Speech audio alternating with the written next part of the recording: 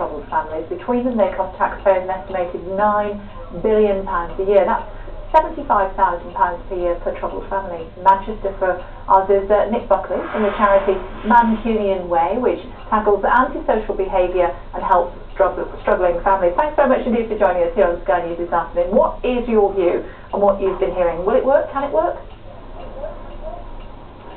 I think it can help. Um, I think the term troubleshooter um, is a little bit is a little bit wrong. I think we should call them coordinators.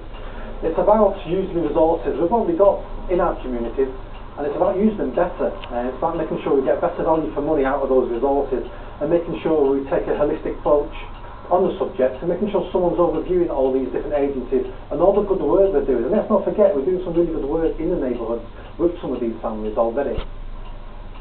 Uh, yeah, indeed. So, like what? Um, some of the work I've been doing over the last seven years, um, and the work the charities carried on doing now, a lot of it's about early intervention. Um, it's about nipping things in the bud before before some families, individuals develop into these troublesome families.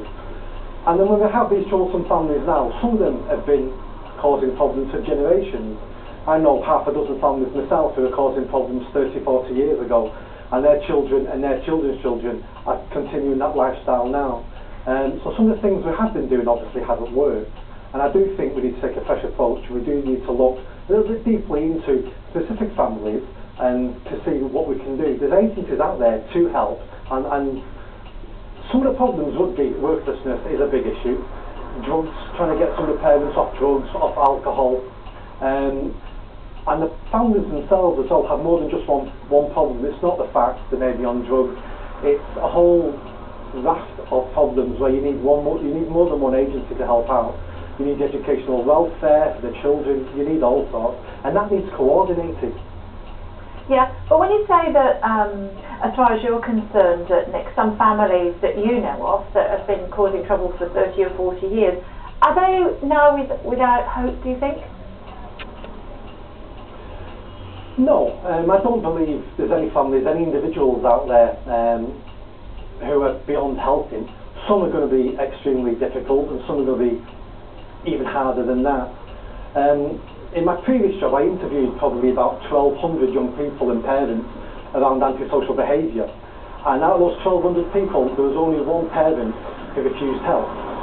Um, because parents want the best for the children, and no matter who they are, they want the best.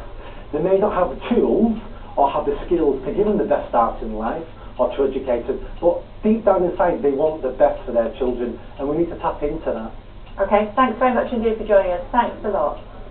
Well, Matt Cavanagh from the social justice think tank, the Institute for Public Policy Research, is uh, in our Westminster studio uh, for us now give us an alternative